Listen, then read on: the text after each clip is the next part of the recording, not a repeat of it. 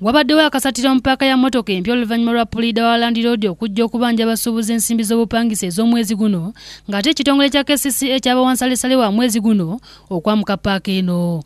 Puliida ono atategerekese mannya abadde ku dduuka lya lookapu namba 42 ng'abadde akakatikanye n'amabaasa okujja okubanja ensimbi za mukama we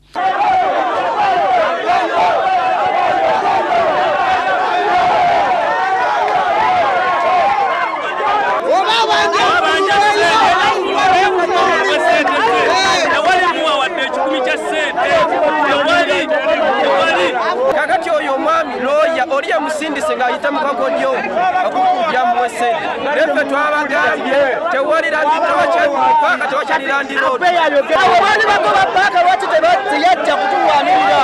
Alabaka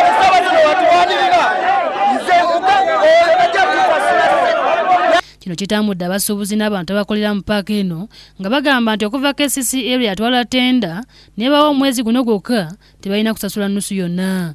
Puliida alabe bamukyomera nnyo n'addukira mu dduuka ne yeeggaliramu okwetegula abasuubuzi abadde beesomye era nga poliisi emaze kujja n'emulagira agulewo kyokka olabye kamera za bukedde tv ne yeebika gomesi baleme kumulaba bulungi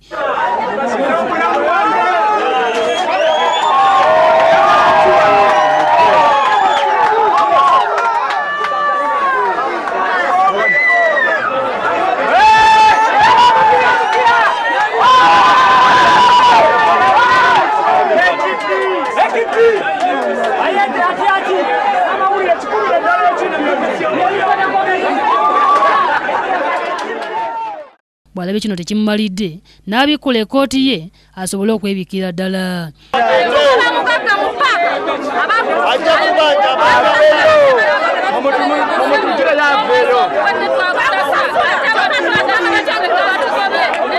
Oluvannyuma poliisi egobye abasuubuzi abadde bakwatiridde ku dduuka lino nemufulumya mu bwangu obw'ekitalo kyokka abasuubuzi ne bagigoba nga baagala okugisuuza puliida ono nga beetolodde paaka okusobola okulaba nga bafuna bye bamuyisa wakati mu nduula ebadde eva mu basuubuzi. Olinda birala ekyo kikuwulidde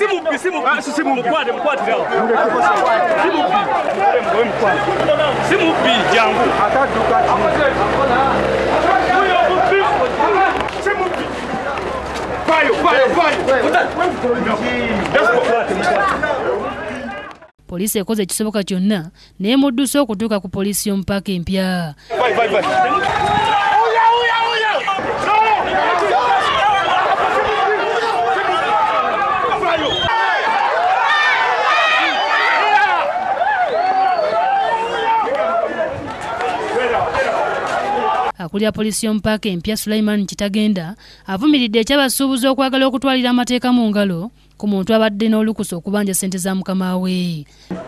Bagatharinze basubira landlord mu dduuka paka yonna egatharinga bagala mukuba ngaate ekyo kimenya ki? Kimenya mateeka gwe baga nti kcc yagambye nti guno omwezi tebagubanja kyawandikiddwa awantu wonna tekyawandikiddwa awantu wonna nti kati temusasula.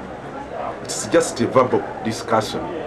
Ibrahimu bwega yakusakidde eggulire lino ku lwa bukedde tv mu kampala